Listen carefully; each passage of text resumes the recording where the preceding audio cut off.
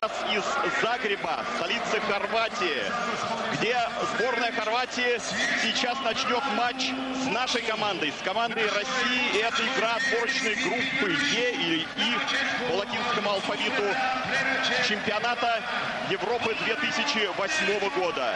Стадион Максимир.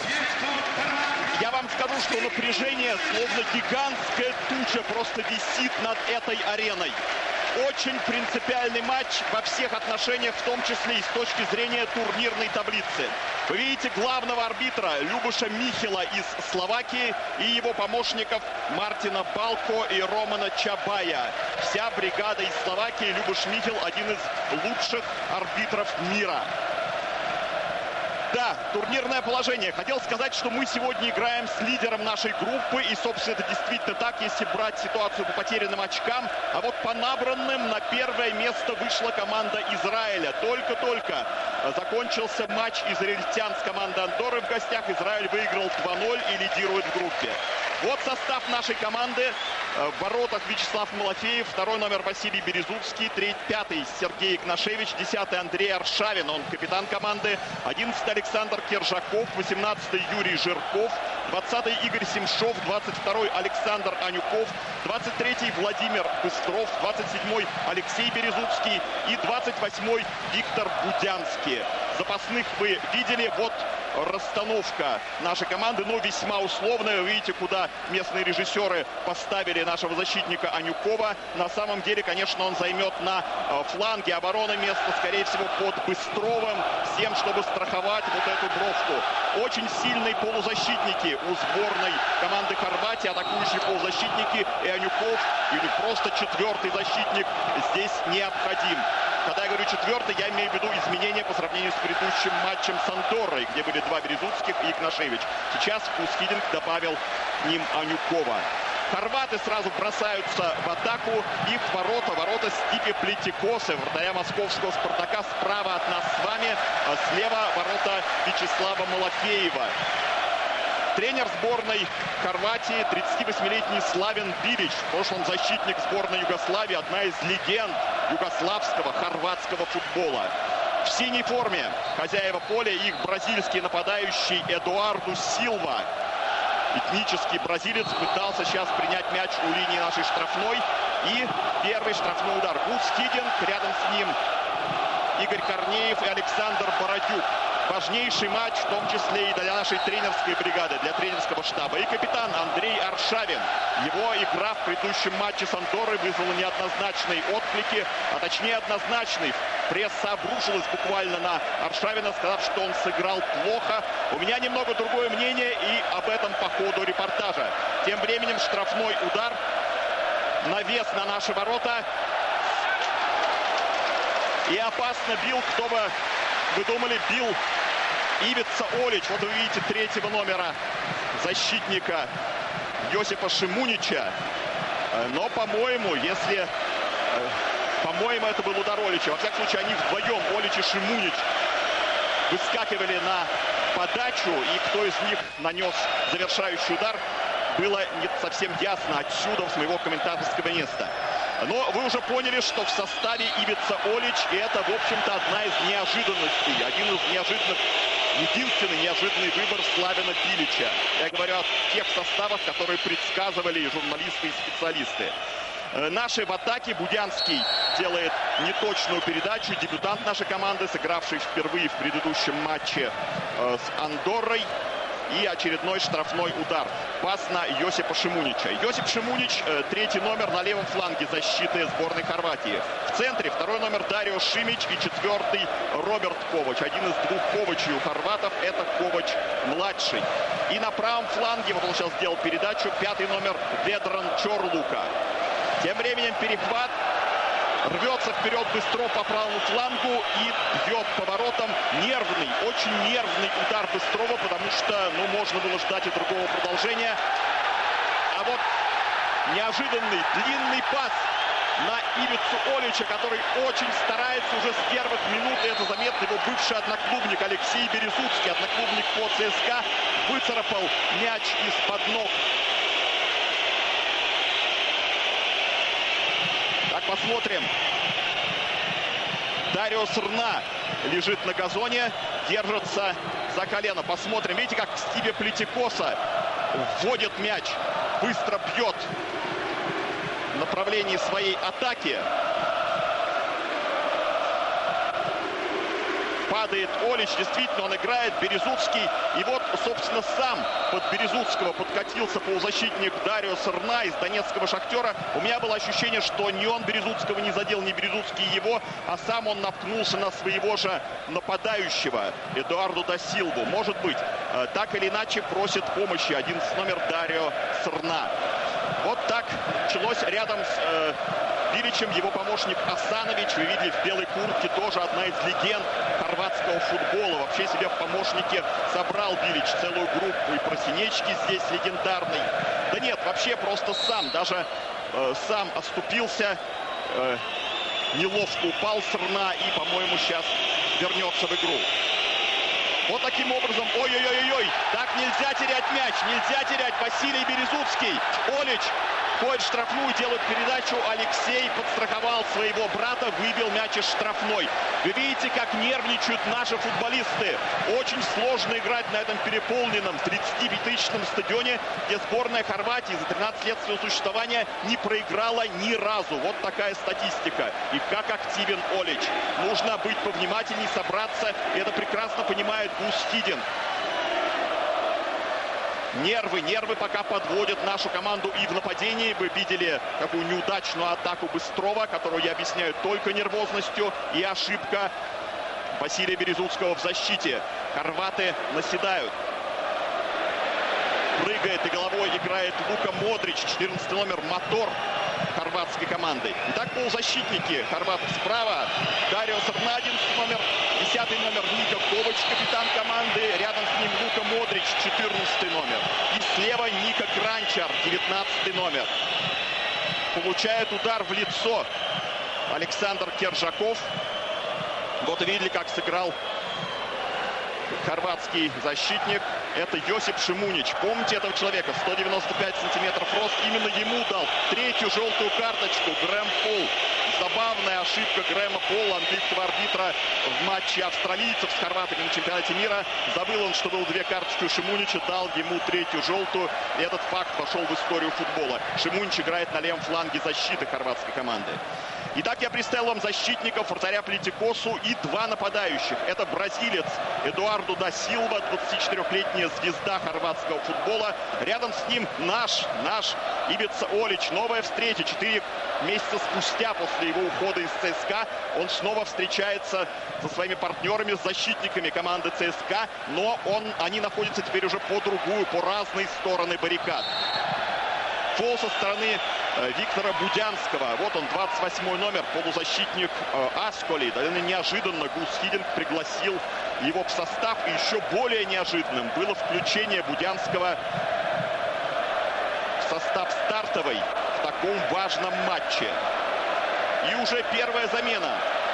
Видимо, не все так просто. Видимо, серьезную травму получил Дарио Сорна из донецкого «Шахтера». Вы помните, это нет вот Дарио Сорна на месте пока что. Но готовится замена у команды Хорватии Ерко Леко. Полузащитник Монако сейчас выйдет на поле. Тем временем штрафной удар очень опасно прямо в руки Малафееву бил Дарио Сырна, которого я уже спешил отправить на замену. А замена все-таки, видимо, будет. Это последнее, что сделал Сырна, видимо, в сегодняшнем матче. Отмечу Малафеева. Вячеслав молодец. Да, удар был дальний, Малафеев все видел, но, тем не менее, спокойно, уверенно, без нервов мяч этот э, принял и зафиксировал. Вот замена. Ерко Леко, полузащитник французского Монако. И действительно, он меняет Дарио Сарна стоя. Трибуны 35-тысячного стадиона Максимир аплодируют одному из своих любимцев. И вот такая первая замена. Что же, надо сказать, что это потеря Дарио Сарна. Посмотрим, как будет выглядеть э, Леко. Дарио Серна и Юрий Жерков. Они играли на одном фланге. Очень интересно было посмотреть на эту дуэль. Э, так же, как и на дуэль на другом фланге Кранчера и Быстрова. И вот вы видите, в связи с этой заменой сразу-сразу какие-то указания дают Анюкову наши тренеры. Естественно, нужно как-то перестроиться. Анюков на правом фланге пока что вот рядом с ним э, Нико Кранчер. Нико Кранчер играет по левому флангу, на противоположном фланге от Срна.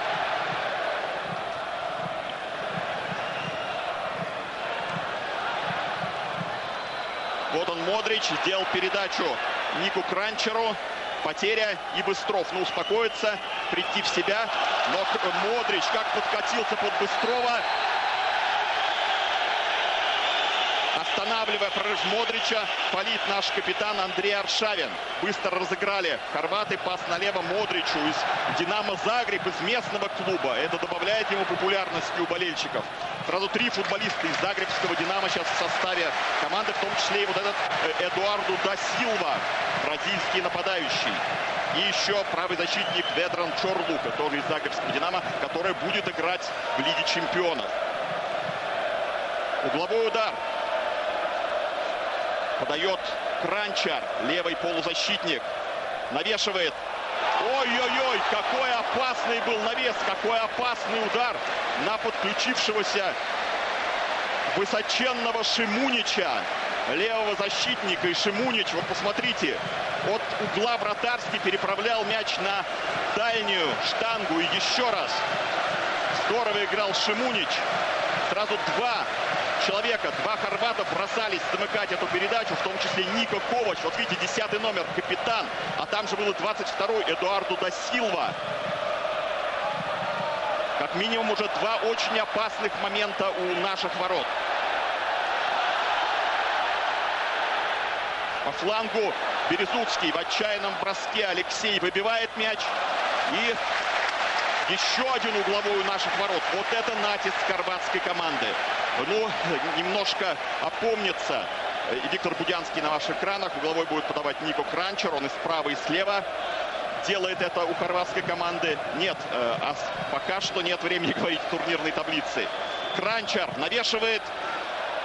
Выбивает мяч Игнашевич, вице-капитан нашей команды, но на подборе Модрич.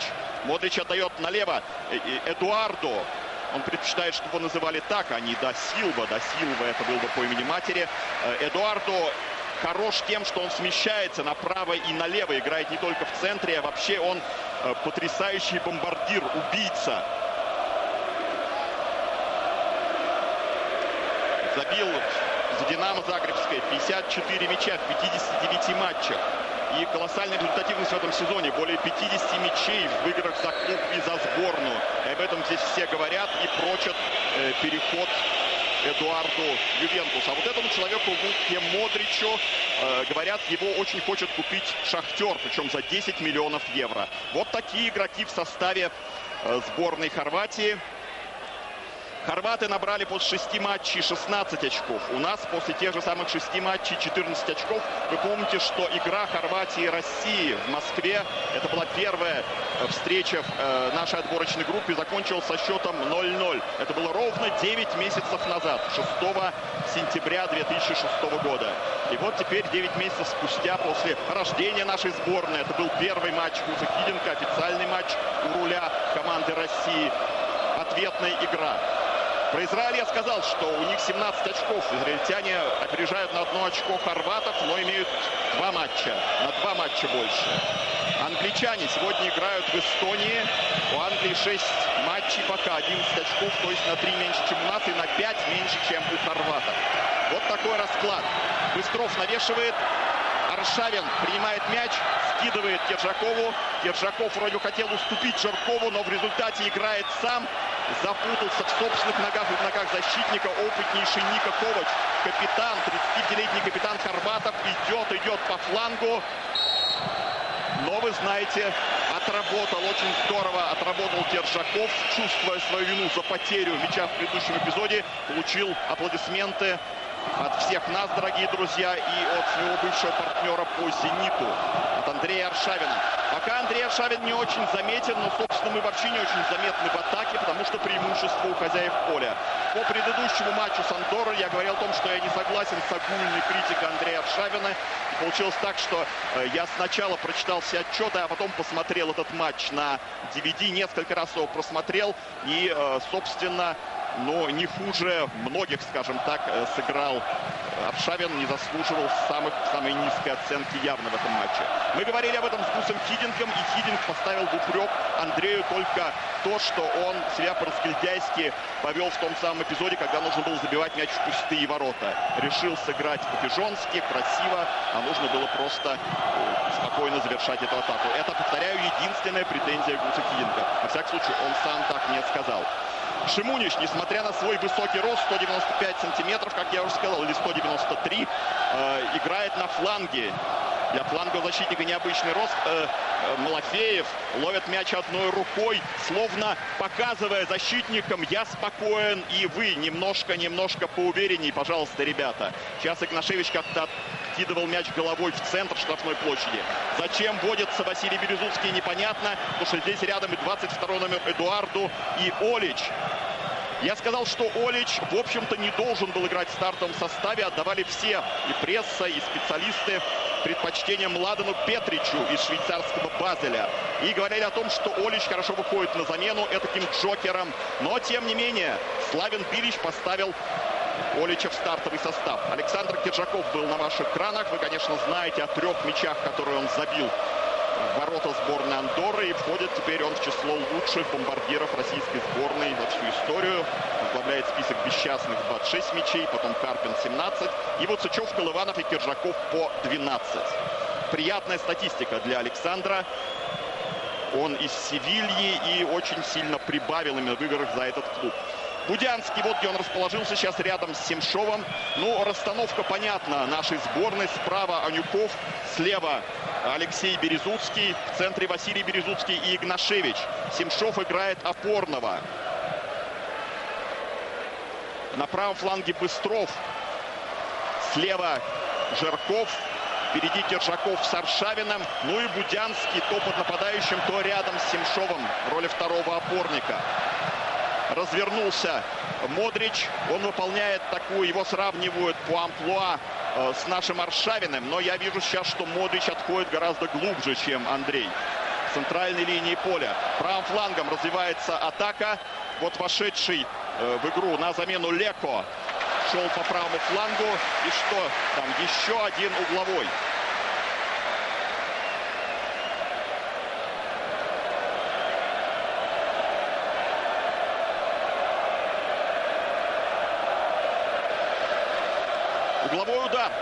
у наших ворот. И снова 19 номер Нико Кранчер. Сын прежнего тренера сборной Хорватии. Подхватывает Модрич. Все подборы у Модрича. Вот он, 14 номер. Может быть, действительно окажется в Донецком шахтере за эти самые 10 миллионов евро. Но говорят не раньше декабря, потому что его загребскому «Динамо» нужно играть в Лиге чемпионов. И раньше определенного момента Модрич, э, ну, вроде Модрича не собираются отпускать. Вот он, 21 год этому футболисту. И он играл в Москве в первом матче двух этих сборных. Олич откидывает назад. Попытка передачи Кранчера. Олич открывался. Сложно приходится с ним нашим защитникам, хоть они хорошо знают своего бывшего партнера. Э, но вот явно не просто Василию Березуцкому. Березуцкий оказывается рядом с Оличем, потому что Олич все чаще смещается на левый фланг хорватской атаки. Пятый номер Ведран Чорлука бьет вперед. Ой-ой-ой, как снова поскользнулся Березуцкий. Олич и свою же ошибку Василий Березуцкий исправляет. Но вот мы видели такой эпизод на правом фланге э, с участием Березуцкого. Вот сейчас снова он поскользнулся. Трибуна негодует. Им показалось, что Березуцкий задел Олича по ногам. Посмотрим. Нет, совершенно все четко было. Подкат выполнен здорово. И та же самая, может быть, мокрая трава, которая сначала подвела Березуцкого. Он поскользнулся. В конечном итоге ему помогла сделать вот такой эффектный подкат. И очень эффективный. Я говорю мокрая трава, потому что днем прошел дождь здесь, температура плюс 23 градуса. И бывает сильный ветер, то возникает, то исчезает над Загребом. Погода меняется очень быстро. Быстрый ливень сменяется э, периодами жары. Поле из-за этого немножко пострадало, но вообще газон великолепный. Гудянский в роли разводящего отдает Жиркову, получает мяч обратно. Полузащитник Аскали. И вот пас Семшову. Семшов один из любимцев Гуса Хиденко. И это место э, вот за ним закреплено в последних матчах. Место опорного. Э, была игра рукой, да, совершенно очевидно. И могут получить даже желтую карточку за это э, Ника Ковач. Анюков и тоже поскользнулся. Ну, что такое? То ли с бутсами что-то такое у наших футболистов. Я не могу понять. Анюкову действительно нужно чаще подключаться, что он и делает. Может быть, когда э, я говорил о том, и вот рассуждал в эфире программы «Время» о том, что у нас появился четвертый защитник, ну, может быть, не совсем в этом заключается задумка Хиденко. Э, место правого защитника э, занимает Василий Березуцкий. Алексей слева, Игнашевич в центре. А вот Анюков играет по правому флангу, что позволяет Быстрову занимать э, другие разные позиции на поле. Даже место центрального нападающего. Гудянский прервал передачу. Открываются вот Жирков, и там и Аршавин был. В итоге пас налево.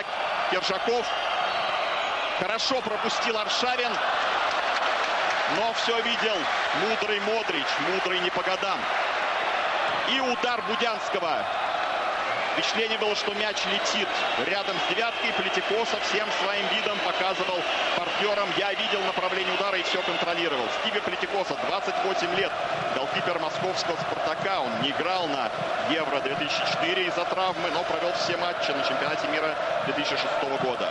Но если уж мы коснулись чемпионатов Европы и мира, как тут не вспомнить потрясающий успех хорватов в 98 году. Третье место. Нет, это положение вне игры у Эдуардо.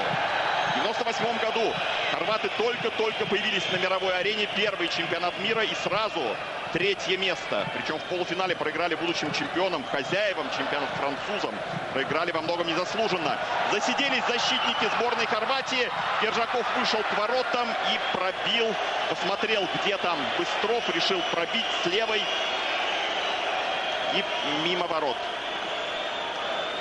Итак, позади вот мы смотрим повтор этого момента.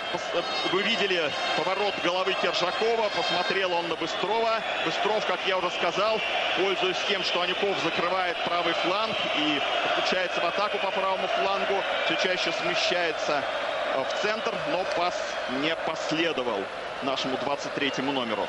22 минуты позади в матче отборочной группы чемпионата Европы между сборными Хорватии и России. Вы смотрите прямую трансляцию Первого канала. С вами комментатор Виктор Гусев. Счет пока не открыт. И вот сейчас уже вовремя э, вышли вперед и Роберт Ковач, и Дарио Шимич, два центральных защитника. На этот раз Киржаков оказался в положении вне игры. Кранчар, мощный Кранчар был с мячом. И перевод на левый фланг. Шимунич из немецкой Герты. Ждет, пока кто-нибудь откроется. Тем временем отдает в центр Дарио Шимич, ветеран, 28, 31 э, год, 31 год ему. Атака по центру. Ложится под удар Нико Кранчера. Один из братьев Березутских это был Василий Березутский. И, в общем-то, очень вовремя все сделал. Но вот уже другой Березутский, Алексей, отдает назад Игнашевичу, получает обратный мяч от Игнашевича. Пас в направлении Кержакова. Кержаков этот мяч вроде бы сумел обработать, несмотря на то, что Роберт Ковач его атаковал. Четвертый номер. Снова опасен Ибица Олич. Отдает Модричу. Модрич с мячом. Пожалуй, самый заметный сейчас в составе. Хорватов. Ответный пас от Эдуарду. Модрич на фланге. Эдуарду бежит в штрафную. Модрич обыгрывает Будянского. Подача. На месте Игнашевич. Нет, простите, там не Игнашевич, там Жирков, по-моему, пришел. Еще подача. Ой-ой-ой, как опасно в нашей штрафной.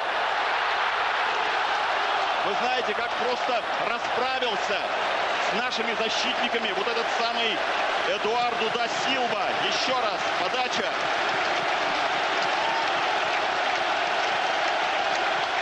Э, как-то отбивал мяч Василий Березуцкий. Попал в голову растерявшемуся Анюкову, что позволило Эдуарду да Силве обработать мяч и пробить.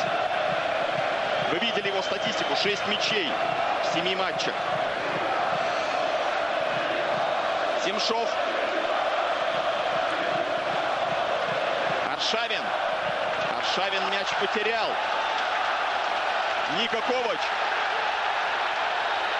Эдуардо увидел открывающегося Кранчера. Пас не прошел. Застрял в ногах наших футболистов.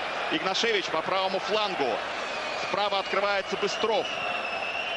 Игнашевич дает Будянскому. Будянский сыграл вроде бы изящно, но тут помешала рука соперника. Снова в руку, уже второй раз в руку Ковачу, Ника Ковачу, старшему Ковачу попал мяч. Будянский быстро отдал Василию Березуцкому. Анюков показывает, что нет продолжения. Нет продолжения. Быстров на месте центрального нападающего. Пас направления Аршавина пытался одним движением обыграть Роберта Ковача. Вот он, Роберт Ковач.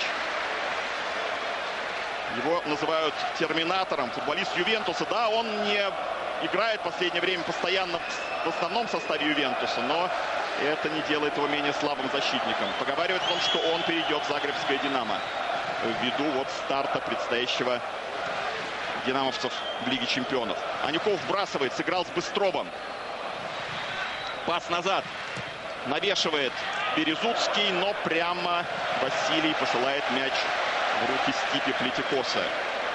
35 тысяч билетов было продано. Я смотрю на трибуну за воротами хорватов. Там расположились наши болельщики, но почему-то они заняли только половину трибуны. Вторая половина совершенно пустая, хотя нам было сказано, что все билеты проданы. Но, может быть, вторая половина трибуны своего рода буфер между российскими и хорватскими болельщиками. Этот матч причислен к группе матчей повышенного риска. На стадионе дежурят 80 полицейских и еще 76 сотрудников служб безопасности. Может быть, вот использовали, повторяю, такой буфер. Во всяком случае, большая часть мест осталась не занятой. Говорили, что от нас приедут 3-3,5 тысячи болельщиков, но, может быть, какая-то часть рассредоточена по другим трибунам. Во всяком случае, пока я этой 3 тысячи не вижу. Но те же, кто сейчас находится на трибуне за воротами Плитикоса, э, ведут себя достаточно активно. Вывесили, э, я вижу, плакаты с названиями разных городов. Здесь и Астрахань, здесь и Мурманск. Даже Москва, подмосковная Краскова присутствует. Но тут же и Тольятти, извините, если какие-то вот в темноте спускается уже вечер над стадионом Максимир, если какие-то плакаты я не разглядел и не назвал все города, которые представлены здесь на трибунах. Славин Билич, ему предлагает э, английский Вест Хэм стать у руля этого клуба, но пока что Билич не хочет изменять э, сборной Хорватии, несмотря на очень такой соблазнительный контракт. Анюков будет вбрасывать аут. Э, пока э, наши, согласитесь, не очень убедительные в атаке, в тех контратаках, которые нам позволяют хорватские футболисты. А вот мастер контратак Ивица Олич получил мяч от Эдуардо, обрабатывает очень хорошо. Жирков подстраховал Алексея Березуцкого в этой ситуации. Жирков и побежал на свой правый фланг уже готовить атаку. Аршавин идет по центру. Атака сзади. Нарушение правил, которое фиксирует Люба Шмихел, судья из Словакии. Нарушил правило пятый номер Ветрон Чорлуков, сместившийся э, в погоне за Аршавином со своего правого фланга обороны. Семшов у мяча. Бежит Аршавин. Что-то ему нужно оказать помощь. Во всяком случае, отправил его за пределы поля словацкий арбитр. И Э, собственно, здесь и остался Аршавин. Что просто нужно завязать шнурок на бутсы. И Аршавин бежит на скамеечку. Интересно посмотреть, что там сейчас будет происходить. Поговорил с Гусом Хиденком. Пока наши играют в десятером. Может быть, меняет бутсы Андрей Аршавин. Я уже говорил о том, что э, несколько раз, раз наши футболисты поскользнулись на этом незнакомом газоне. Может быть, и в этом дело. Не только лыжники подбирают мазь, но и подбирают бутсы футболисты под разные газоны. Я смотрю, э, теперь две, две разные бутсы Андрея Аршавина. На правой ноге желтая, на левой белая. Интересный ход. Параллельно этому матчу проходит игра Эстония-Англия. Еще двух команд нашей группы. Там пока счет не открыт 0-0. Аршавин снова на поле и отдает назад Алексей Березуцкий Вячеславу Малафееву. Э, кто в запасе у нас? У нас э, в качестве запасного вратаря заявлен Владимир Габулов, а не Бородин, который остался вне заявки. Кроме того, здесь Дмитрий Торбинский, я имею в виду в заявке, Павел Погребняк, Константин Зырянов, Иван Саенко, Денис Колодин и Дмитрий Сычев. Вот это наши запасные. Чуть позже о запасных сборной Хорватии. Удачно сыграл Роберт Ковач и получился сразу пас. Смотрите, как держит мяч этот Модрич. Но на каждого Модрича есть наш тоже не менее упертый Семшов.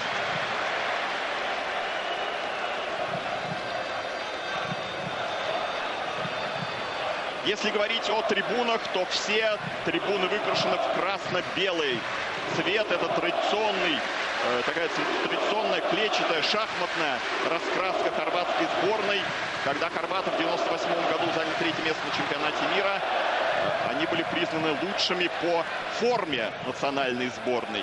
И такой, получили такое негласное, в общем-то, признание. Неофициальное, гласное, но неофициальное признание болельщиков и специалистов форма всем очень понравилась. И вот теперь перед моими глазами шахматные трибуны хорватской сборной. Хорватов также называют еще и огненными за вот такой напор, за страсть.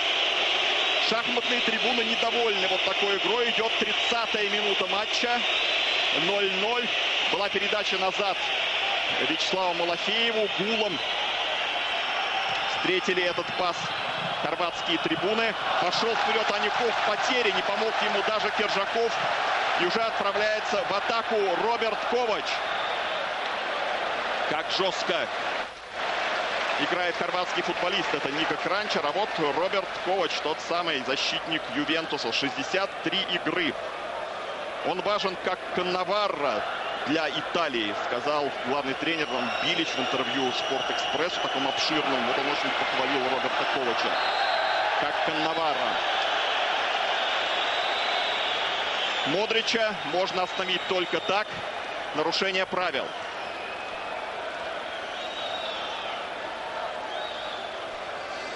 Ну что же, практически нет моментов у э, нашей команды. Впереди те редкие контратаки, которые получаются, может быть, они гаснут у нас прямо на линии штрафной Стипи Плетикосы. Модрич. А штрафной пробьет Нико Кранчер. Подача Кранчера. Да, очень и очень неудачно. Кранчер опытный футболист, свои 22 года. Шутка ли сказать, он уже в 17 лет был капитаном Загребского «Динамо». Можете себе представить вот такое доверие. Сейчас он играет за английский Портсмут. Сборной 32-й матч. И вот сын, как я уже говорил, Златка Кранчера.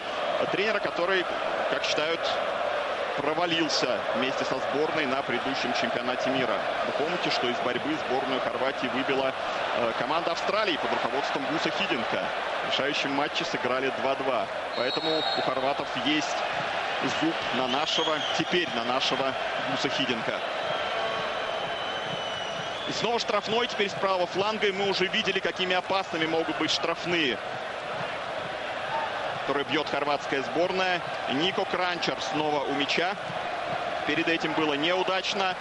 С левого фланга, теперь с фланга правого. У нас впереди остался один Кержаков. Рядом с ним два игрока у линии штрафной, конечно, Модрич на подборе. Все остальные в нашей штрафной. Подача. Выпрыгивал Эдуарду. Слева Ника Ковач. Как и брат, он родился в Германии. Как его брат Роберт Ковач мог бы играть за сборную этой страны, имел предложение, но предпочел Хорватию как настоящий патриот. И снова угловой удар. Я уже сбился со счета. И снова подает Кранча. Смотрите, где оказался Жирков. Совершенно в непонятном месте в борьбе с Ника Ковачем. Кранчер навешивает. Малафеев был под прессингом со стороны Олича, но выбил этот мяч за пределы штрафной. Эдуарду пас Чурлуки. Чурлука бьет за ворота. Трибуны вздохнули, охнули. Чурлука возвращается на свою позицию. Ну, вот единственный недостаток, может быть, этого защитника невысокая скорость. Ну, повторяю, рост 192 сантиметра, много для крайнего защитника. Роберт Просинечки в костюме, помните, тоже знаменитый нападающий сборной Югославии.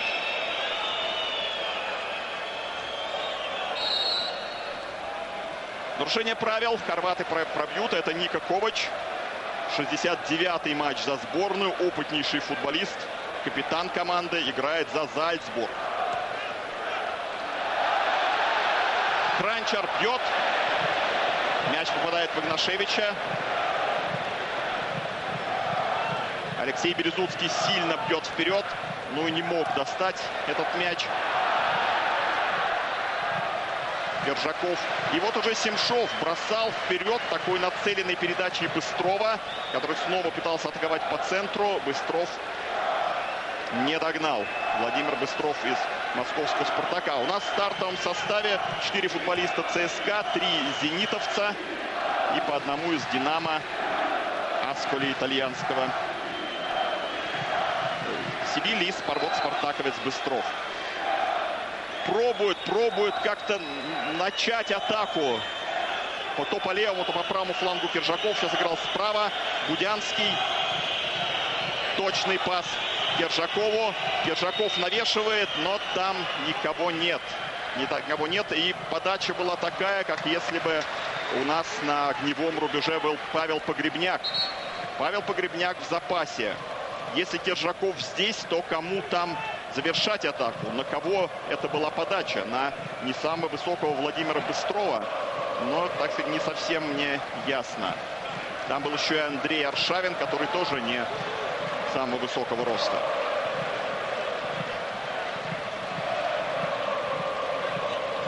Ну вот при таких исполнителях, конечно же, э, я думаю, Густилин дал задачу играть низом, за исключением стандартов, на которые могут подключаться Игнашевич и два брата Березутских. А в общем, команда достаточно низкорослая у нас, прямо скажем, особенно по сравнению с хорватами. Ну, тут центральный защитник чуть пониже, Шимич и Ковач, Роберт. А о крайних я уже говорил, но, естественно, когда идет вот такая подача, крайние там тоже оказываются штрафной и используют свой рост. Но вот Быстров справа, пропускал мяч Держакову. Было нарушение правил. И опять недовольны этим решением трибуны. Но действительно сзади, вот совершенно явно сзади Шимунич атаковал нашего нападающего. Вскочил со своего места Славин Билич и показываем защитникам. Смотрите, один, совершенно один Кержаков. Действительно, Кержаков открылся. Правда, это у на правом фланге. Сейчас он, именно он пропустил мяч Быстрову. Но уже к этому моменту на сигнал Билича защитники среагировали. Шимич центральный игрок обороны отошел сюда. Мяч подобрал Модрич. А, пас Чорлуки. Ника Ковач, Модрич снова зацепился за мяч. Вот как нужно играть на этой позиции. Вот пока такого футболиста я в нашем составе не вижу. Аршавин играет не так. И мяч как-то не доходит до Аршавина. Проход по флангу. Это центральный нападающий Эдуарду.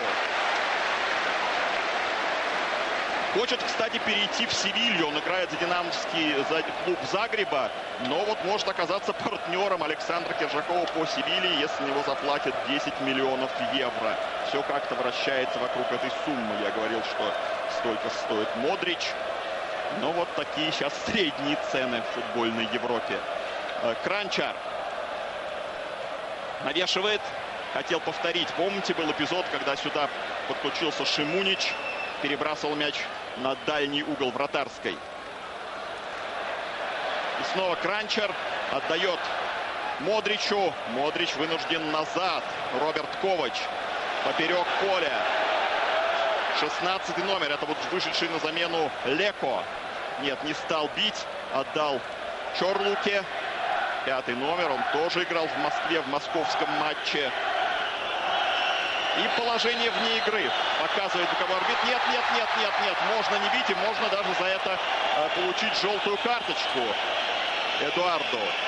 Люба Шмител показывает ему, что вот последний раз, что больше такого жеста он не допустит, потому что совершенно очевидно было, что капитан команды Нико Ковач находился в положении вне игры. Это четко зафиксировал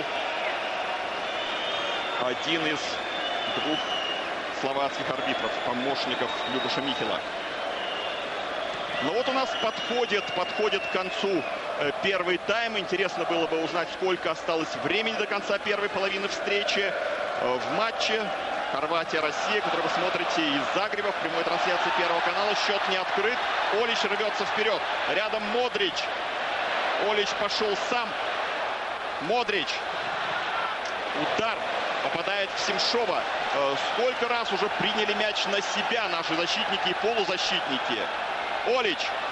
Тентит попадает в Анюкова. Та же самая ситуация. И Анюков так разряжает установку, выбивает мяч в аут. Вот он, Александр Анюков. Э, не очень впечатляет он в составе «Зенита», а точнее даже не попадает в основной состав э, питерского клуба. Но вот нужен был четвертый защитник, защитник вот такого атакующего плана Сухиденко. И он, и он поставил вот стартовый состав на эту игру Александра Анюкова. Идет 40 минута, 5 минут до конца первой половины встречи. И по-прежнему счет не открыт 0-0. Параллельно в Таллине играют сборные Эстонии и Англии. Вот по, по моей последней информации счет там тоже не был открыт. Сброс на 11-метровую отметку. Анюков отбил этот мяч. Чорлука. Против него там оказался Быстров. И вы смотрите, как вроде бы братья Березутские могут сыграть головой и знают, как сыграть против Олича. Но вот в этом эпизоде прыгнул выше Василия Березутского, Ивица, и бил поворотом. Еще раз смотрим повтор. Повторяю, там Быстров мешал на фланге Чорлуке. Неожиданные позиции временами занимают наши футболисты. Мы отмечали вот уход Жаркова на правый фланг обороны. Снова ошибается здесь на фланге Василий Березуцкий. Как Олич его прессингует. Олич знает манеру двух братьев, естественно. Может быть, этим продиктован вот такой выбор главного тренера хорватской команды. Поскальзываются не только наши, но и Эдуарду. Тем не менее, мяч остается у хорватов. Чорлука переводит мяч направо. Там Леко зарабатывает очередной угловой для своей команды. Ерко Леко, полузащитник французского Монако. 6-0. Это счет по угловым, по корнерам, как вы видите на своих экранах.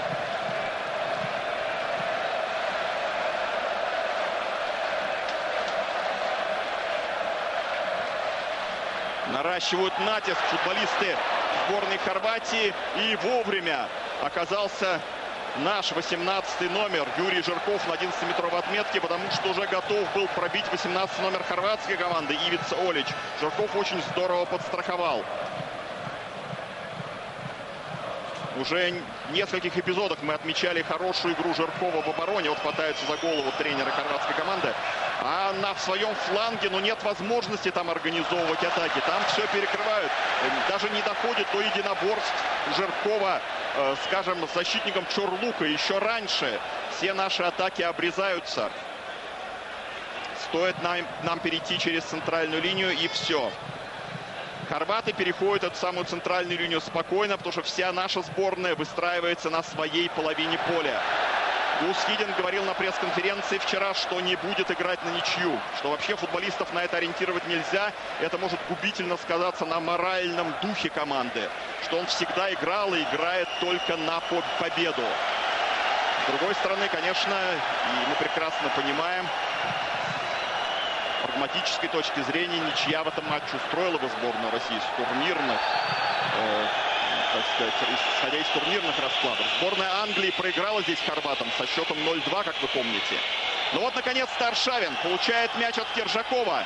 Идет не то что обыграл Ковача, пробросил мяч мимо него и сделал передачу верхом. Делал передачу на маленького нашего опорного Семшова. Такими ходами, что Хидин хочет удивить хорватскую команду.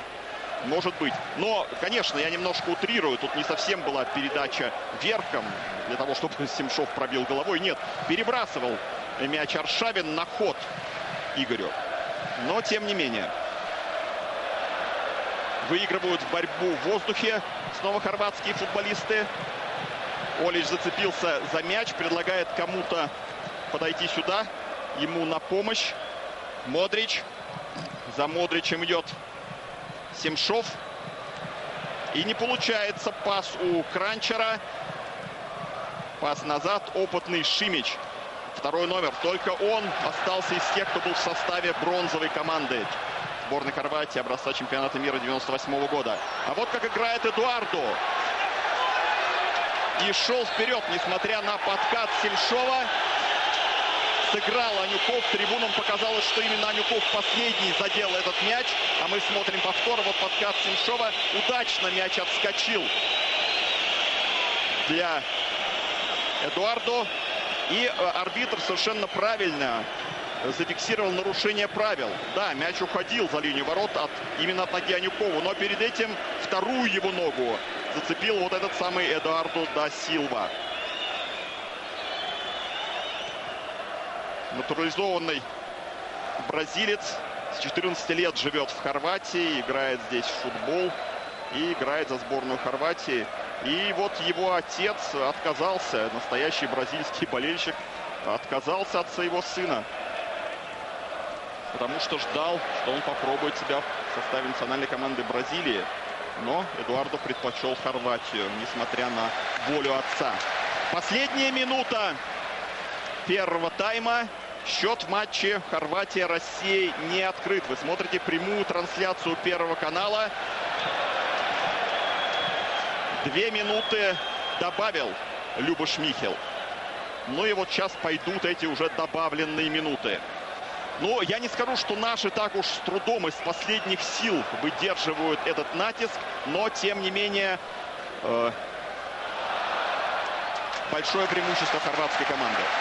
Василий Березуцкий в ногах у Ивицолича выбивает мяч на угловой. Тем временем англичане в Таллине забили первый мяч. Ворота сборной Эстонии.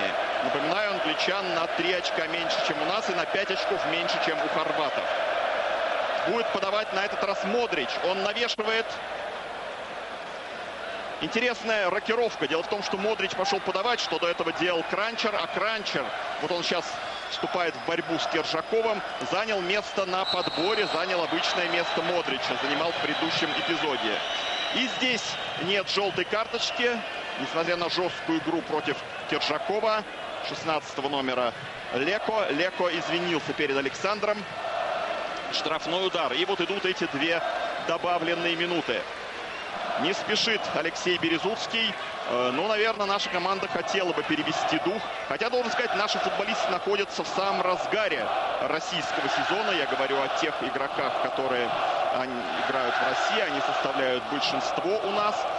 Ну, а что касается сборной Хорватии, то э, они, в общем, уже отпускники, что касается выступлений за клуб. Был у них перерыв две недели. Вот команда, игроки вернулись, и это вызывало определенное опасение Билича. Но не могу сказать, что такими уж не готовыми физически после двухнедельного отпуска выглядят футболисты сборной Хорватии. И какая потрясающая поддержка трибун.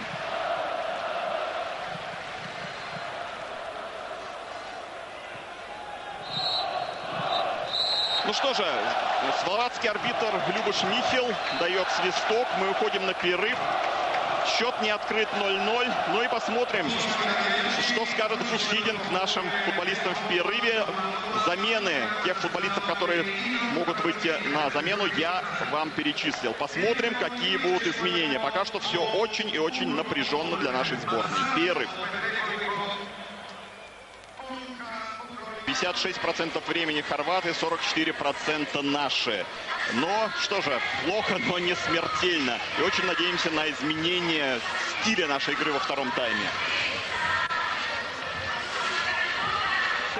Максимиров в Загребе начинается второй тайм и сразу замена у нас э, на поле выходит э, Дмитрий Торбинский под седьмым номером вместо Виктора Будянского, который играл под номером 28. И вот он спартаковец Дмитрий Торбинский. И замена вполне понятная, объяснимая. Я когда вот совсем недавно пожелал нашей команде изменения стиля в этом матче, был, наверное, не совсем прав. Речь идет не о стиле, потому что в каком другом стиле можно играть на чужом поле против сильной хорватской команды.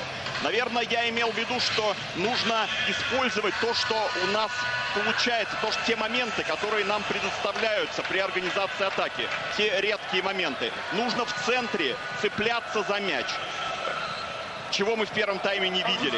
Здесь очень важна была роль Виктора Будянского. Он с этой ролью не справился. Кускидин рискнул, бросил в бой этого 23-летнего полузащитника, еще не освоившегося в сборной. И у него, в общем-то, ничего не получилось. Посмотрим, что получится у Торбинского. Очень важна в этой ситуации и роль Аршавина, который тоже, в общем-то, Будянскому не очень помогал. Скорее, чаще сюда приходил э, Симшов в попытке что-то организовать.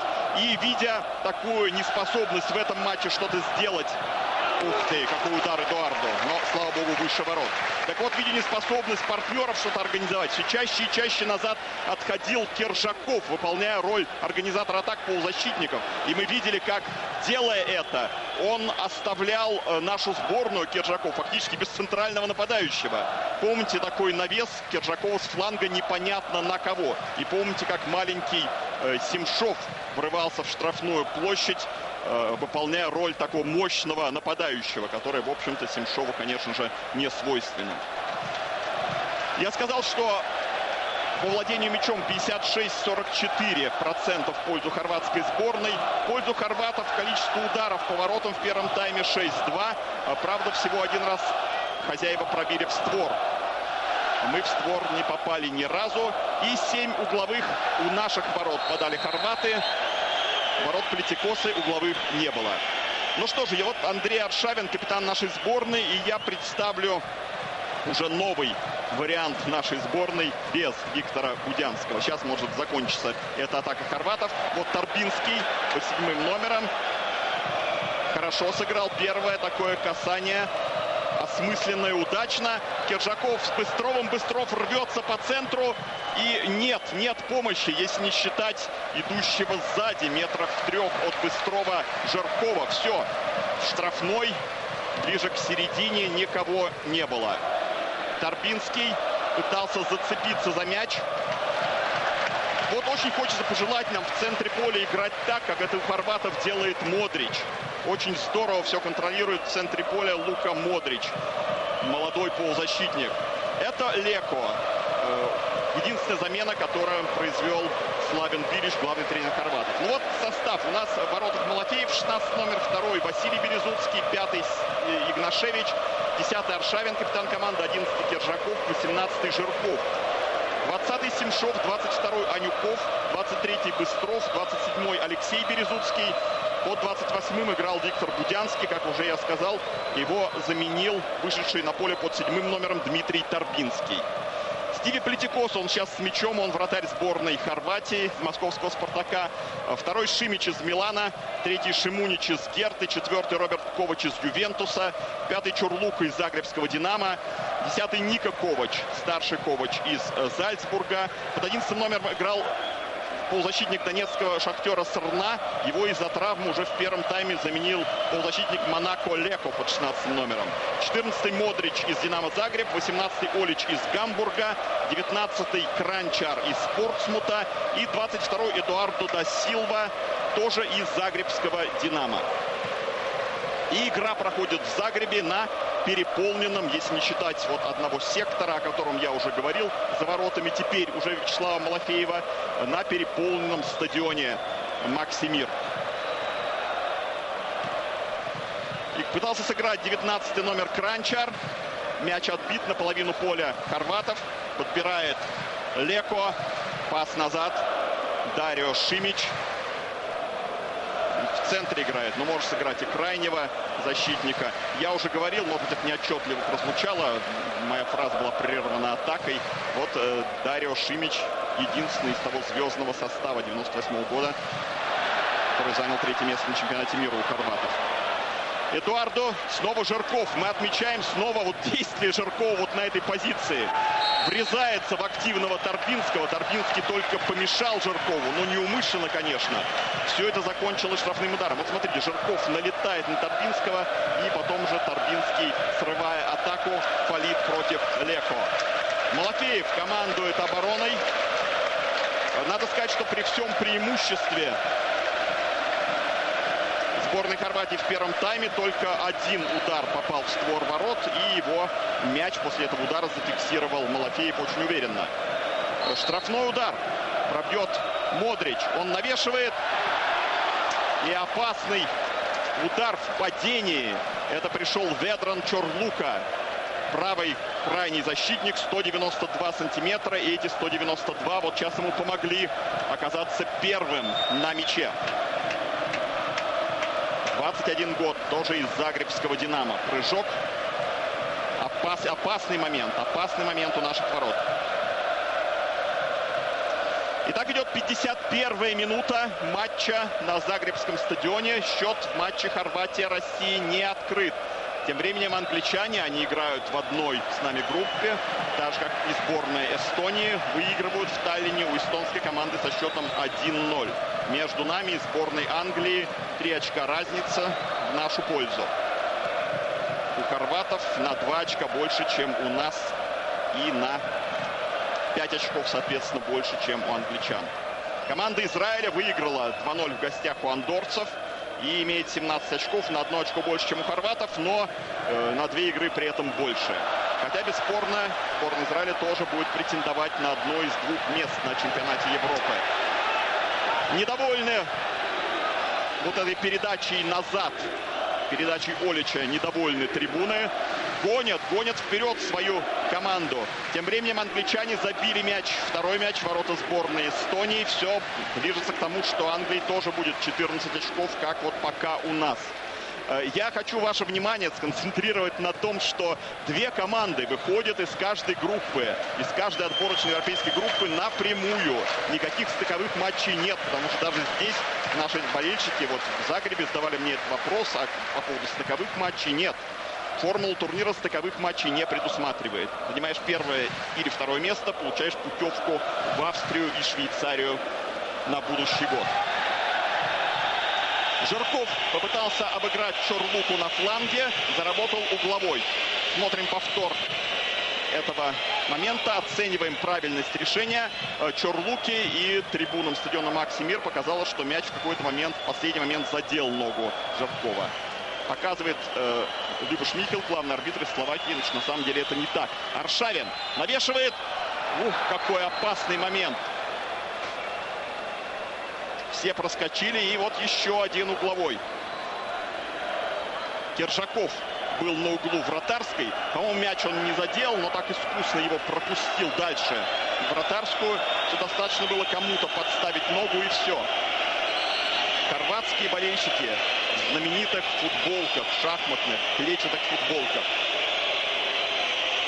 Ни одного матча здесь, на этом стадионе, за 13 лет не проиграла сборная Хорватии. 24 матчах 19 побед. Вот такая впечатляющая статистика. Только представителям пяти стран из 18, которые вот здесь гостили, удалось свести матч в ничью с хорватами. Да, страшный, страшный стадион для гостей. И вот наша трибуна, трибуна российских болельщиков.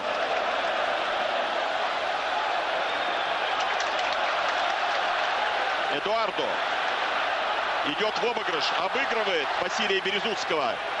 И навес не получается, хватается за голову, по-моему, и Модрич, и Олич. Эдуардо Силва на ваших экранах. Он забил и Англии, забил и вот единственный гол эстонцам в предыдущем матче.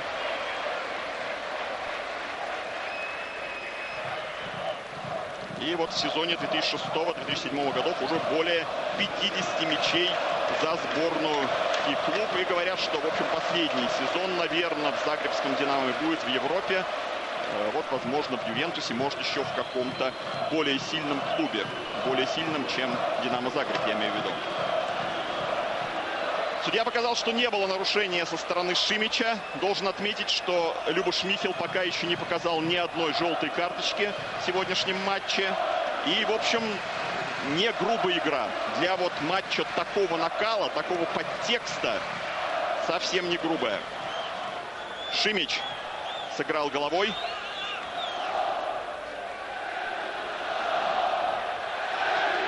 Кранчар нашел этой передачей Олича, оглядывается на него и довольно неловко снова играет Алексей Березуцкий. Вот Алексей, Василий Березуцкий словно гипнотизирует Олич. У вас, если такое впечатление не сложилось, несколько раз под прессингом Олича братья сыграли неудачно. Кранчер, 22-летний полузащитник, пошел подавать угловой. Первом тайме мы отмечали не только... Э, в первом тайме мы отличали не только то, что наши как-то не могут цепляться за мяч в середине поля, но и, в общем, не очень активную игру на флангах. Жарков снова отрабатывал сзади, Быстров смещался в центр, Анюков подключался справа, но не так активно, как хотелось бы. 56-я минута матча идет. Загреб. Отборочная игра чемпионата Европы 2008 года. Счет во встрече Хорватия-Россия не открыт. 0-0. Капитан хорватской команды Нико Ковач будет вбрасывать. Он игрок Зальцбурга. Говорим Зальцбург, сразу думаем о Сочи. Зальцбург соперник нашего города в борьбе за зимние Олимпийские игры, как вы прекрасно знаете. Ну и вот мяч вышел за линию поля. Использует момент, чтобы пожелать успеха Сочи. Я это делал в каждом репортаже, но мы действительно очень надеемся на эту победу сочинцев, на нашу общую победу. Угловой подает Кранча. Пришел высокий, конечно Шимунич почти на линии нашей ворот. Навес Малафеев сначала вышел из ворот, потом как-то остановился и, в общем, позволил вместе с защитниками Ника Ковачу пробить. Смотрим повтор. Видите, как затормозился. Э, Малафеев решил не ввязываться в борьбу там кого, Игнашевича с Ника Ковачем. Рядом был Эдуардо.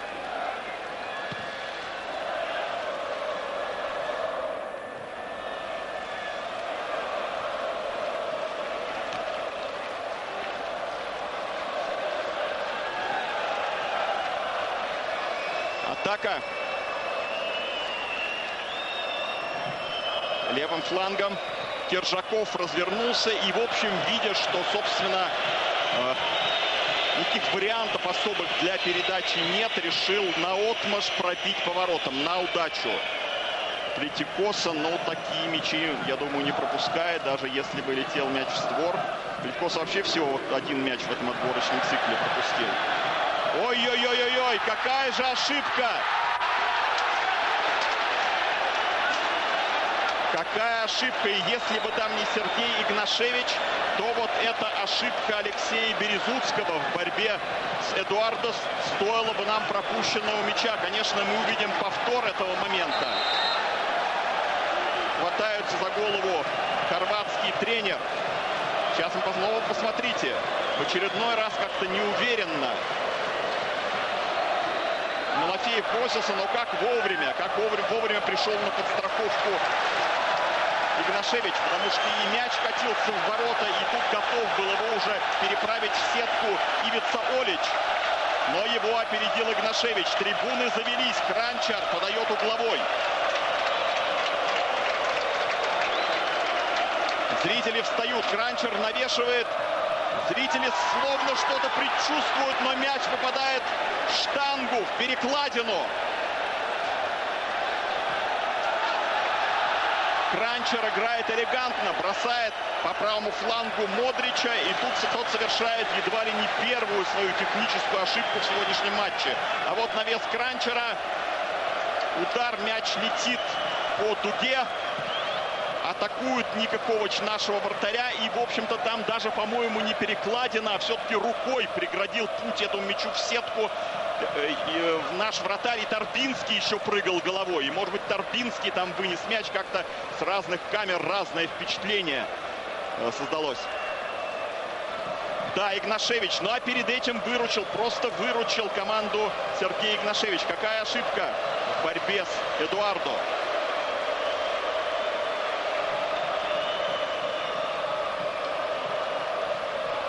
И снова наша атака просто захлебывается у линии штрафной. Повторяю, все чаще и чаще. Вот видите, Олич улыбается.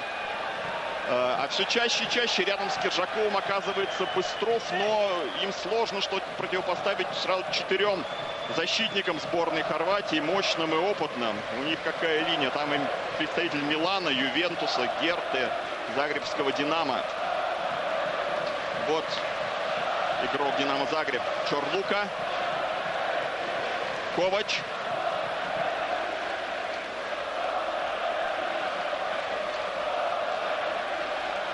Очень много говорилось перед матчем о том, что ничейный результат был бы хорошим исконом для нашей команды. Э, Хидинг, э, в общем-то, признавая это, говорил о том, что команда будет вести только атакующую игру.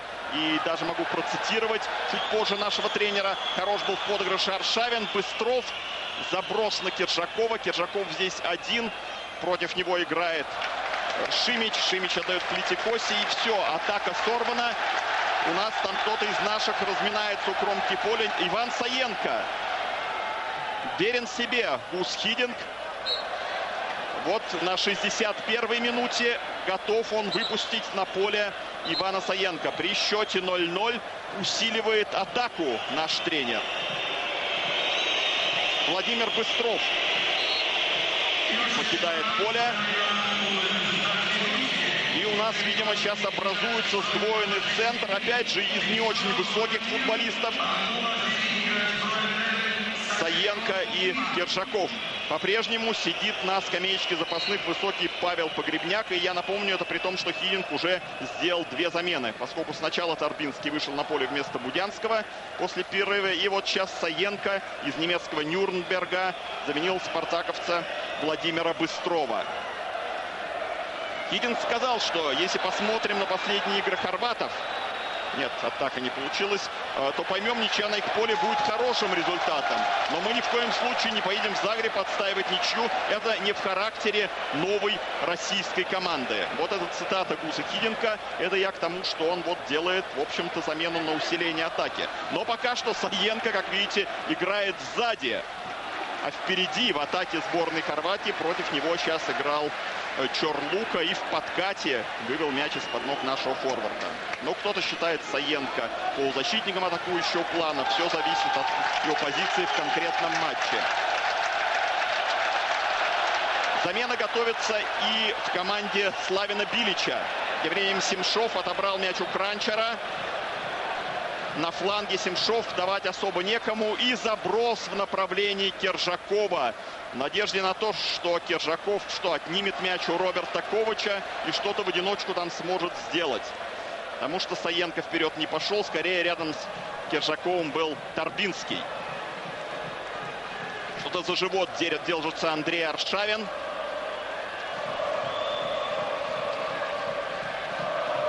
пока, мне кажется, вот свою функцию, свою задачу на поле Андрей, к сожалению, не выполняет. Торбинский активен, вот и сейчас он боролся за мяч, ему нужно это делать э, достаточно осторожно, потому что мы знаем, что Торбинский парень заводной,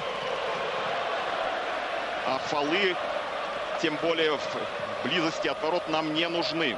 Англичане спокойно разбираются в Таллине с своим соперником 3-0. Сборная Англии выигрывает у команды Эстонии. Чорлуков бросает аут.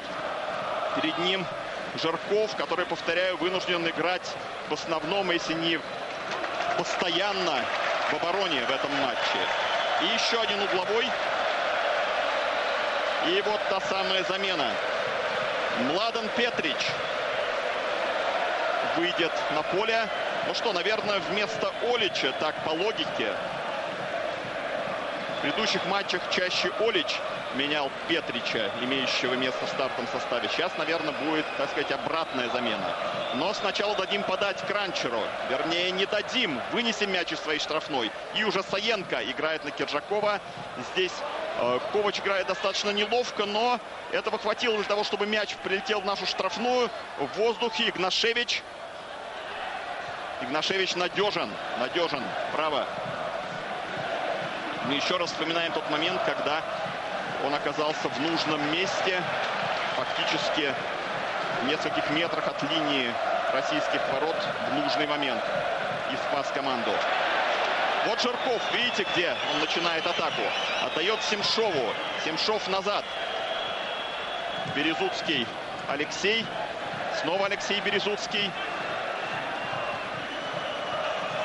Перевод на правый фланг. Сыграл Василий Березуцкий. Анюков в одно касание.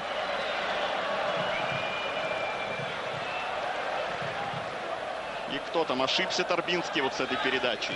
Но попробуем еще раз. Василий Березуцкий. Ну, Аршавин. Аршавин отдает Саенко. Саенко немножко подождал, чтобы подключился Жирков, а фактически на место Жиркова побежал Аршавин, а Жирков занял вот это место. В общем-то, место нашего капитана на поле. 65 минут позади в этом матче. Жарков идет вперед. Счет не открыт. Жарков бьет. Жарков бьет и опять веет некой безысходностью от этого удара, дорогие друзья. Э, не верит Жарков вот возможность паса в такой ситуации. Единственный вариант пробить. Да, Плетикоса только один мяч пропустил в этом турнире. Э, скажите, как же хорваты, ведь э, воротах хорватов побывало 4 мяча. Но с Израилем играл другой вратарь Рунье. А вот Плетикоса только один мяч от македонцев. Правда, курьезный, вы помните, полностью на совести вратаря. Сегодня, в общем-то, работы у Плетикоса нет. Как не было работы в матче с Андоррой у нашего голкипера Вячеслава Малафеева. Я, конечно, не сравниваю два матча и две ситуации, а просто констатирую факт. Младен Петрич выходит на поле из швейцарского Базеля нападающий. И заменит он Вы знаете, очень интересно. Уже двинулся к кромке поля Ивица Олич в полной уверенности, что заменит его. А оказывается, меняет Славин Билич Нико Кранчера. Это явно, явная замена на усиление атаки. Но нельзя сказать, что Кранчер не играл в атаке. Он был одним из самых активных впереди у сборной Хорватии. Но все-таки это полузащитник. А что сейчас делает Славин Билич? фактически у него, и не фактически, а и по-всякому у него в атаке оказывается трое нападающих. Это и Олич, и Эдуарду да Силва, и вот теперь Младен Петрич, 26-летний нападающий Базеля, как я уже сказал, лучший бомбардир швейцарского чемпионата. Бесстрашный нападающий, хорошо играющий головой. И о нем говорят, что иногда он даже настолько бесстрашен, что просто не чувствует, насколько рискует. И из-за этого получает травмы. Лежит на газоне Андрей Аршавин. Но было нарушение правил. Тол толкал его в спину Роберт Ковач. Правым флангом наши начинают атаку через Василия Березуцкого. Вот Аршавин уже делает передачу на Анюкова. Анюков вроде бы оттеснил неплохо соперника на фланге, но продолжения эта атака не имела. Хорошо сыграл, между прочим, Эдуарду Досилла. Можете себе представить. Вот не зря его показывают сейчас режиссеры. Именно там он боролся, 22 номер, с нашим 22 номером Анюковым. Но э, скажете, что теперь Эдуард Силва может себе это позволить, потому что впереди есть и Олич, э, и Петрич. Может быть и так. Малафеев не спешит, использует все свои, сколько там, 6 секунд, разрешенные вратарю. Выдержал мяч. Черлука и Саенко. Саенко фалит. Вот смотрите. И, э, знаете, натыкается на колено Жиркова. Такой неоднозначный эпизод. У Чурлуки были претензии к Жиркову. Он посчитал, что наш полузащитник сделал это умышленно, подставил колено. Чурлука носом ударился о колено Жиркова. Подбежал Михел и разобрался в этом эпизоде. Ничего страшного и умышленного не было. Так, а вот сейчас все-таки первая желтая карточка. Ее получает Торбинский, друзья мои, как мы и предсказывали. Не хотя того, не желая желтых карточек Торбинскому. И вот теперь Дмитрий должен сыграть очень и очень аккуратно, потому что мы знаем, и снова я об этом говорю, что иногда Торбинский не может затормозиться, остановиться, идет до конца, бьется. Он, конечно, молодец, боец, но теперь он должен, должен думать и о том, что Одна желтая карточка у него есть. Вот как, вот как Модрич держит мяч. Отдает Эдуарду. Эдуарду теперь сместился на фланг. Окончательно ли? В центре штрафной и Олич, и Петрич. А Эдуарду идет, сам падает. Нет, удар от ворот. В сердцах бьет кулаком по земле. Эдуарду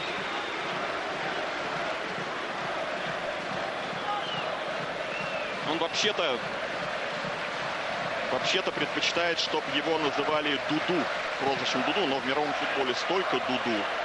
И мы некоторых вообще очень хорошо знаем из Дуду.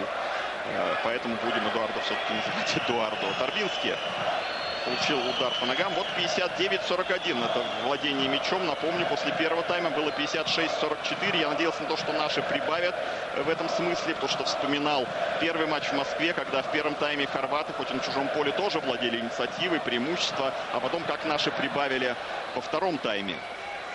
Но вот этого мы здесь не наблюдаем, к сожалению, пока. И отмечаем, что тогда во втором тайме, кстати, на поле у нас вышел Погребняк. И, может быть, с этим было связано усиление активности. Ну вот снова фол и сразу вторая желтая карточка. Так бывает, когда команда подустала. Хотя очень интересно, что эти две желтые карточки как раз получили не самые уставшие футболисты в составе нашей команды, а те, кто вышел на замену. И Торбинский, и Саенко. Надо сказать, что в этом эпизоде, на мой взгляд, не очень-то корректно играл и Хорват Леко. Э, так или иначе, предупреждение получил Саенко. Куда-то ушел Игорь Корнеев. Видите, его место пустует. Он, наверное, пошел за Сычевым, я могу так предположить. Или за Погребником. Одно из двух. Подача. Игнашевич в очередной раз э, вынес эти штрафной. Погладил себя по голове, словно за этот удачный ход. Торбинский прервал. Кержаков. Аршавин впереди. Пас налево Саенко. Саенко много игрового времени получил в этом матче. Так, если бы его пускают, то совсем в конце. А вот это Леко, который, по-моему, должен был получить карточку и в предыдущем эпизоде. Получил его наш Саенко. Теперь все-таки карточка нашла героя в кавычках. За вот такой фол против Кержакова наказан Ерко Леко. жути, да, жути картон. Если увидите, у нас возникла надпись на экране титр. Это не жуткий картон, а желтая карточка. Прострел! Но у нас нету титров, э, как говорит мне редактор из Москвы. У нас не сообщается и время на экране, поэтому я еще раз должен чаще и чаще называть вам время по ходу встречи. И сейчас у нас по-прежнему счет не открыт. Наши наконец-то будут подавать угловой. Пошел Аршавин, а время у нас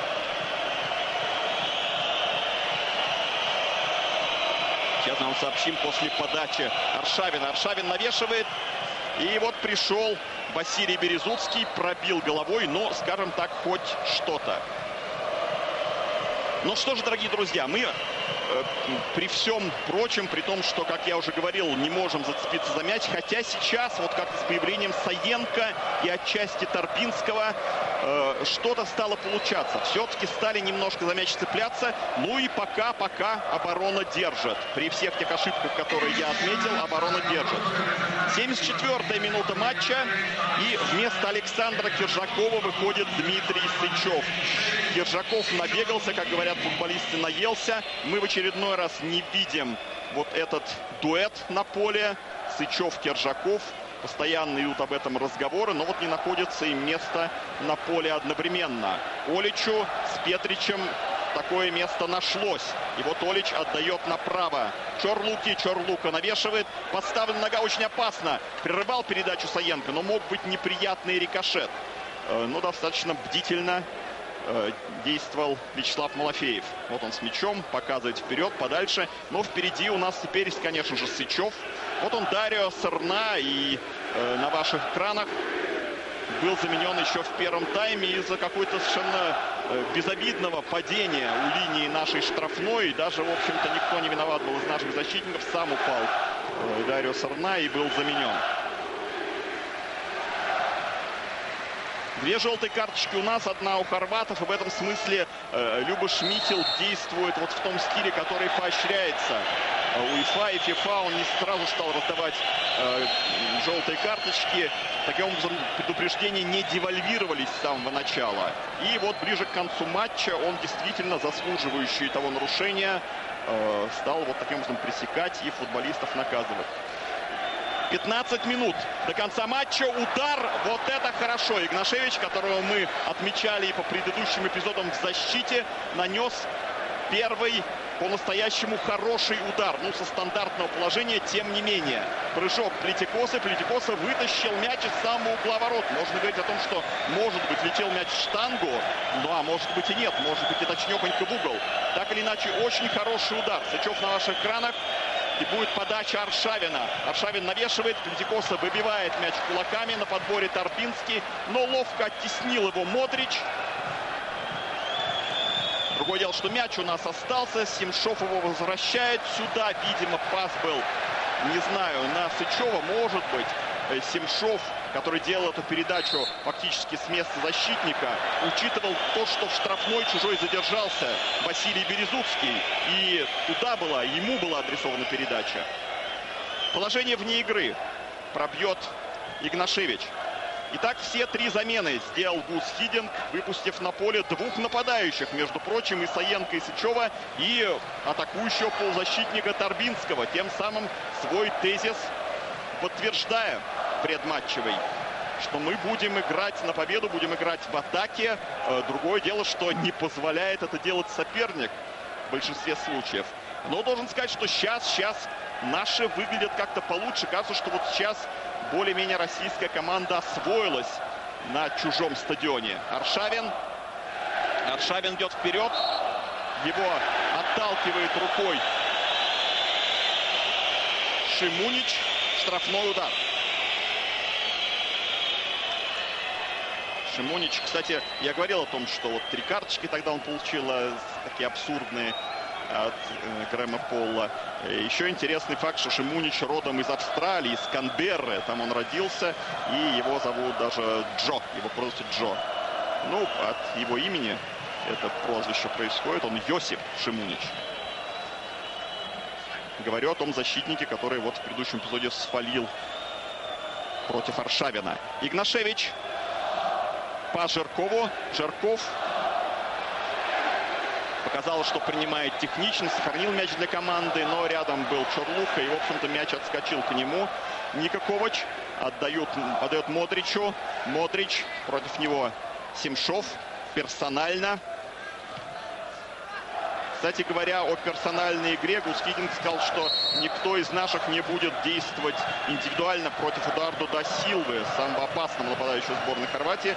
Просто Хидинг э, говорит, что он не хотел бы э, терять нашего игрока, в том смысле, что разменивать какого-то из наших на даже острого нападающего сборной Хорватии. И потом другие форварды, вернее, другой форвард, Хидинг не мог себе представить, что три нападающих в какой-то момент будут в составе сборной Хорватии. Другие, другой форвард сказал, Хидинг тоже заслуживает э, внимания защитников, не только Эдуарда Досилва. Жарков. Вот Сычев получает мяч на левом фланге. Открывается Саенко. Вот как в коробочку взяли Леко и Чорлука, нашего нападающего. Жирков пробил. Неплохо. Шичев врывается в штрафную, получив очень неплохую передачу от Аршавина. Сложно, правда, было использовать. Там мощно сыграли хорватские защитники в этом эпизоде. Торбинский огляделся, идет по центру, открывается один совершенно Жирков. И почему же Торбинский не сделал передачу? Ждал этого паса Жирков. В кое веки пошел вперед по левому флангу в сегодняшнем матче. Саенко прерывает эту передачу. Шимич и аут. Юрий Жирков, московский армеец на ваших экранах. Возможно, лучший игрок вот на этот момент чемпионата России. Саенко. Саенко активен и повторяю, что и он, и Торбинский, в общем, начали, начали понемногу, что называется, цепляться за мяч во втором тайме. Жирков. Удар в ногу Чорлуке. Чорлук чем-то недоволен. Что локтем его отталкивал Жирков после вот этого эпизода. Наш аут. Наш аут, а между тем, дорогие друзья, до конца этого сложнейшего матча для сборной России осталось всего 10 минут. Аршавин навешивает на угол вратарской, но опять же там никого нет.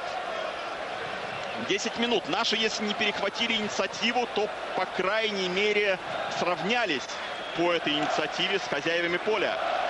И вот последние 10 минут.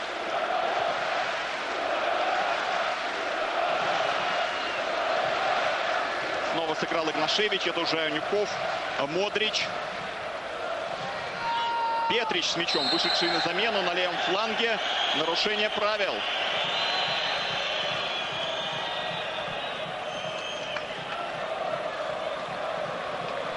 Вот он, Младен, Петрич.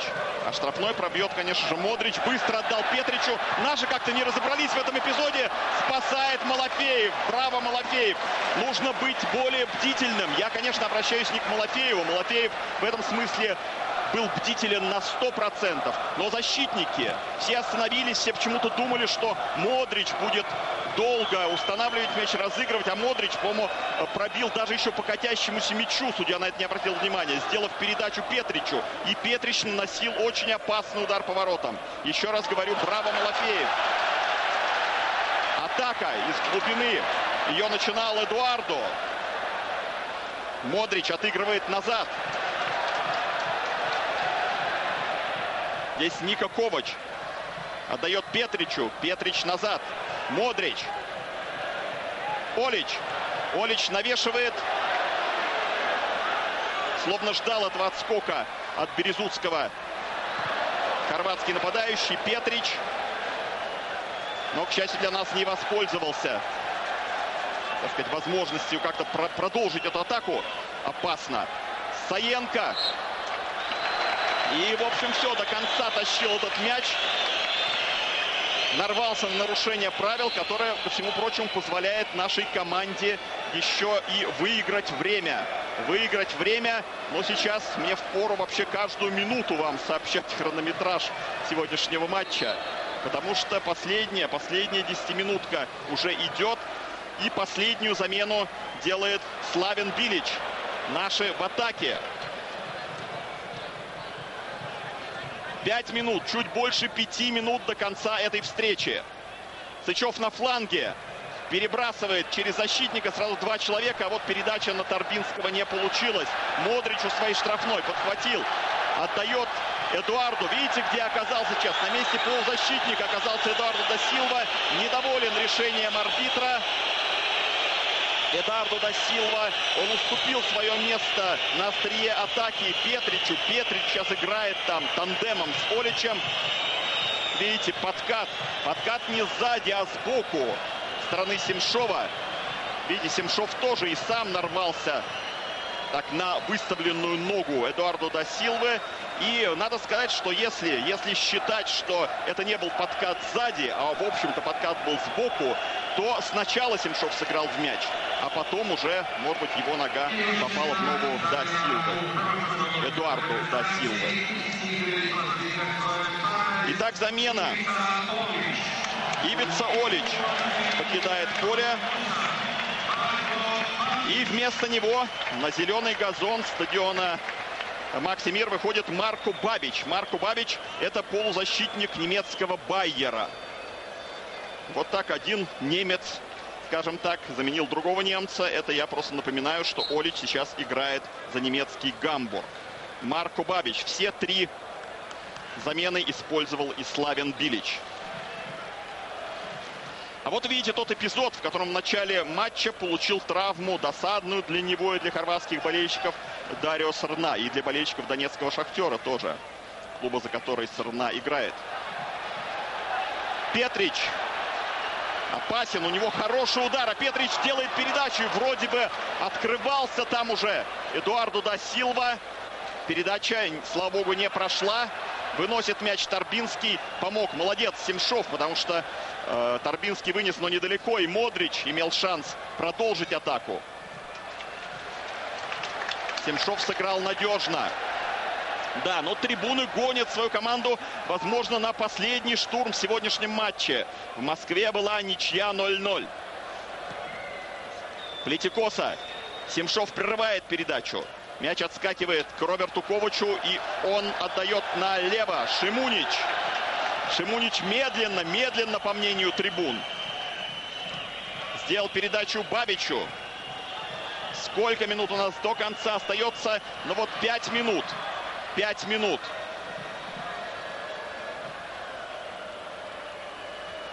Аршавин. Попытался сделать передачу, но совсем рядом стоял атакующий его полузащитник, и поэтому эта передача не проходила. Эдуардо. Торбинский его атаковал, опять же сзади. С риском, повторяю, получить вторую желтую карточку. Сычев. Мало-мало у него игрового времени. Смотрите, сем...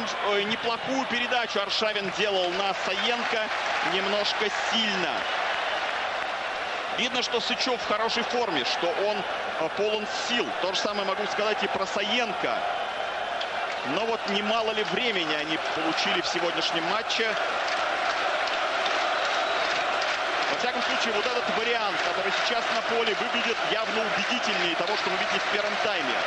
Может быть, не знаю, может быть, подустали и хорваты, прошедшие в своих клубах длинный сезон. Не знаю, может быть, дело не только в наших игроках, вот в этом новом варианте команды с тремя заменами.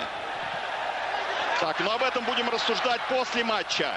А пока в нашу штрафную врывается Леко и молодец Анюков. На последнем или на предпоследнем рубеже, если хотите, сыгравший надежно. Последние, наверное, три минуты этого матча. Сейчас мы посмотрим, сколько добавил Люба Шмихел. Снова надежен Анюков. Он окончательно отошел э, назад на своем фланге. Слева играет Березутский Алексей. Василий в центре с Игнашевичем. Сейчас уже точно мы играем в 4 полноценных защитника.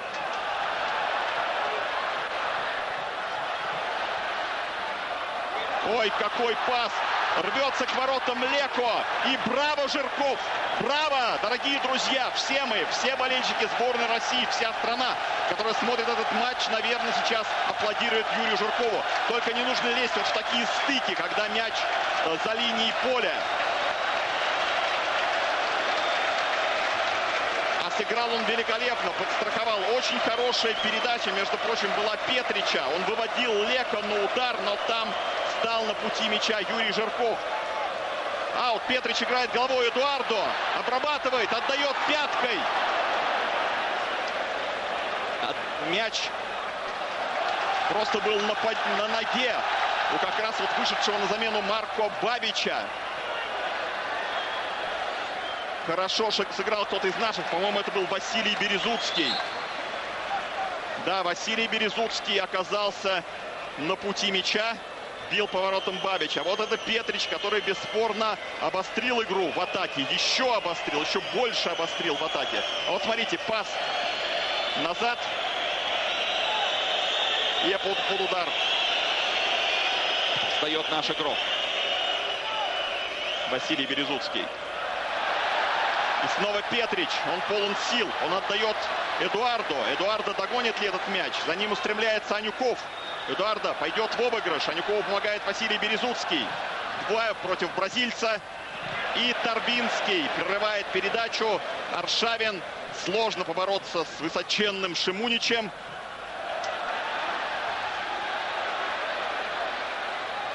Бабич идет вперед. Подача. Ой, Малафеев выпускает этот мяч. И тут же повторным движением его забирает. Последняя минута матча, если не считать времени добавленного, конечно, добавленное время будет, хотя бы потому, что делались замены во втором тайме. Положено официально добавлять на каждую замену э, как минимум 30 секунд. Так что сейчас мы посмотрим на табличку в руках резервного арбитра. А так уже полминуты до конца. 0-0. 0-0 в матче Хорватия-Россия в Загребе.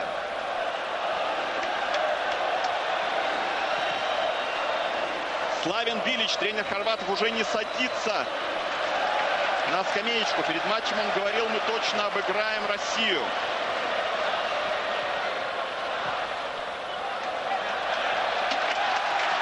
И были смотрите, недоволен Жирков. Не надо, не надо тут лезть на рожон угловой, как угловой. Все равно не выпросишь там что-то в свою пользу. Леку будет подавать? Нет. Леку пошел в штрафную. Подавать будет Модрич. Пошло уже добавленное время. Модрич навешивает. Снова играет здорово Игнашевич. Хорваты на подборе. Семшов. Отбойный удар. Ой-ой-ой-ой. Все правильно оценил этот эпизод. Э, Сычев, Сычев не подсаживался под игрока сборной Хорватии. А это сам Леко налетел на нашего нападающего. Э, четыре минуты. Четыре минуты добавил Люба Шмихел. И одна минута уже позади, так что вот считайте три минуты. Три минуты, ну что ж тут говорить, продержаться три минуты. Игнашевич бьет на фланг. Здесь Саенко, но первым на мяче Шимич. Самоотверженный Семшов прыгает. Сычев не смог этот мяч принять, но ничего страшного. Может в данной ситуации аут еще лучше. Что-то говорит там я не знаю, запасным Александр Бородюк, но, повторяю, замены уже сделаны. Жерков пытается прорваться по флангу, там хватает он. Вот у них противостояние с Чорлукой. Мы не видели этого в первом тайме, потому что э, сюда не приходил, вперед не шел по флангу Жерков. У Чорлуки просто не было возможности сыграть против него, выполнить свои оборонительные функции в борьбе с Жарковым. Сейчас ситуация поменялась. Жарков Хорошая передача. Саенко на фланге. Пытается обыграть Шимича. Почти это получилось. Саенко. Все правильно. Выигрываем время. Две минуты. Уже меньше двух минут до конца этого матча. 92 минуты 10 секунд позади. Плетикоса торопится. И призывает всех своих партнеров идти вперед. Игнашевич снова здорово головой. Мяч не доходит до Петрича. И все благодаря Игнашевичу. Один из лучших в составе нашей команды в сегодняшнем матче. Чорлука. Петрич немножко не допетрил. Извините, немножко не допрыгнул. Отбойная игра у нас. Ковач. Пас налево. Шимунич вынужден, вынужден. Шимунича вынуждает Аршавин отдать мяч назад своему вратарю. Э, простите, не Аршавин, это Торбинский. Торбинский, я даже удивился, что такой вот, скажем, активный, напористый игре, если бы это был Аршавин. Но Торбинский. И больше сил у него, чем у Аршавина. Последняя минута, последняя минута сегодняшнего матча. Березуцкий прыгает в отчаянном прыжке. Алексей Березуцкий выбивает мяч. Снова недоволен Жирков. У Жиркова постоянно столкновение. То с Леко здесь на фланге, то с Чорлукой. Жирков боец, он сегодня доказал. Это в сегодняшнем матче он это доказал. Аршавин борется. В подкате играет против него Роберт Ковач. Аршавин на газоне. Но надо вставать, надо вставать. Вперед идет Шимунич.